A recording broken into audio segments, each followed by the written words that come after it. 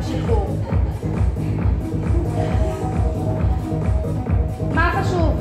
ידיים מתחת לכתפיים, ברכיים מתחת לישבן, רגליים בפלקס, כדי שנעבוד גם על ה hamstring, על כל הרגל האחורית, ואנחנו עולות. אחד, שתיים, שלוש, רגליים בפלקס, בטן אסופה, מה מאיה תמיד אומרת?